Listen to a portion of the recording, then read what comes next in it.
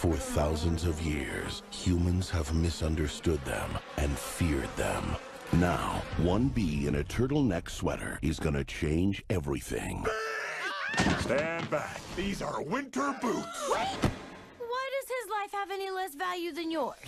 This fall, I gotta say something. You like jazz? You're talking to humans. You're flying outside the hive. Oh!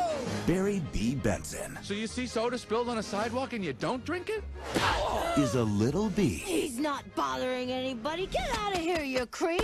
discovering a big secret. How did this get here? It's just honey, Barry. This is stealing. Cute bee. Golden Blossom.